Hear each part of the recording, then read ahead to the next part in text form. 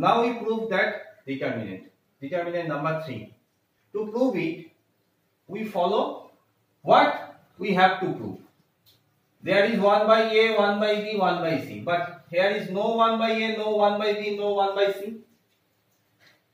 To follow that, first from the first row, we take common A.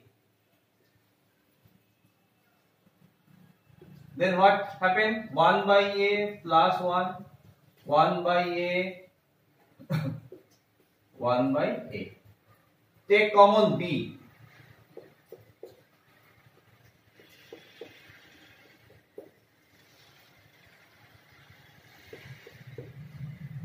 And taking common C from the third row.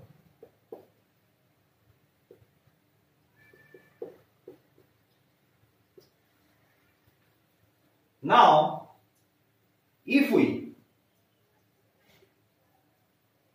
add R2 and R3 with R1, that is R1 dash is equal to R1 plus R2 plus R3, then we get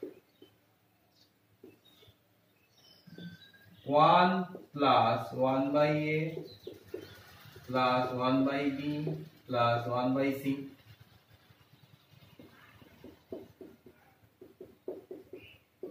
One by C.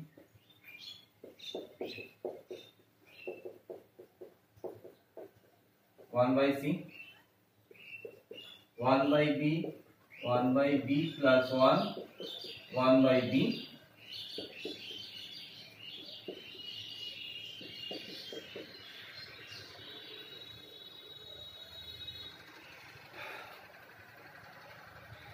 what we get? That we can take common this from the first row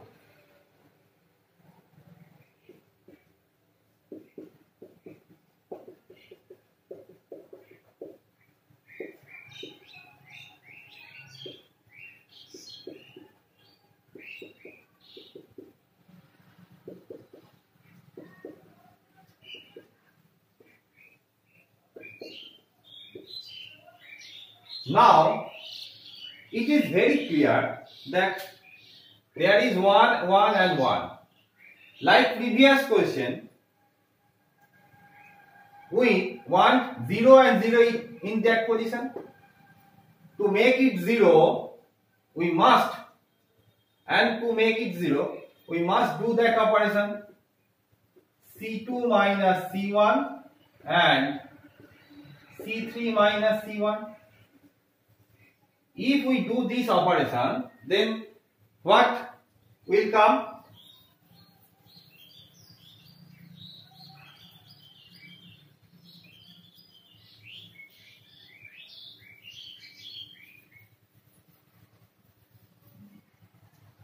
That is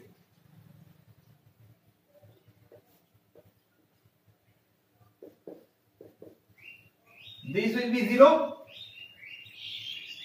and this will be 0. C2 minus C1. There is 1, there is 0. There is 0, 0, 1. And this is A, B, C into 1 plus 1 by A, 1 by C.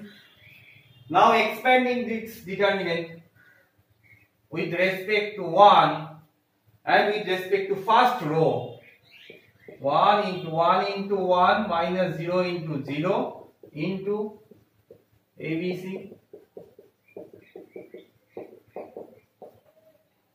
So we get